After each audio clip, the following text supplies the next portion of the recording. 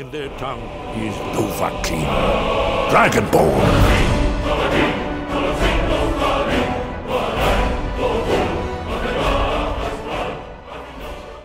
The Elder Scrolls V Skyrim may be the latest video game to get an adaptation into the television medium. Reportedly, Netflix has had talks with Bethesda to adapt the video game into a series on their streaming platform. This rumour comes from Game Rant stating that Netflix is keen to adapt the game and follow the success of Castlevania and The Witcher.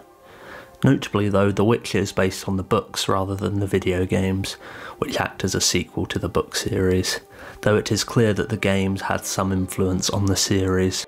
At this time, the Skyrim series is nothing but a rumour, though I believe it to be highly likely. Bethesda has already worked with Westworld showrunners Lisa Joy and Jonathan Nolan to adapt another one of their franchises for television. Fallout is currently being worked on over at Amazon. Notably, Netflix is also working on a series based on the popular game franchise Assassin's Creed. Skyrim first came out in 2011 and is considered one of the most popular games of all time. It has also been ported to many different consoles.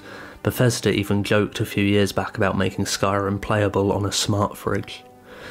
It isn't out of the question that they could expand their highly popular IP for television.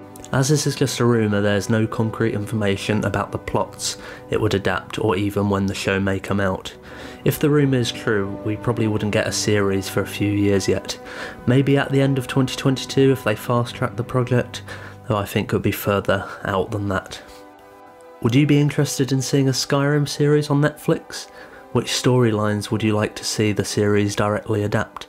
Let me know in the comments below, give this video a like, subscribe if you haven't already, and make sure to click the bell icon to receive notifications for all my future videos. Thanks for tuning in.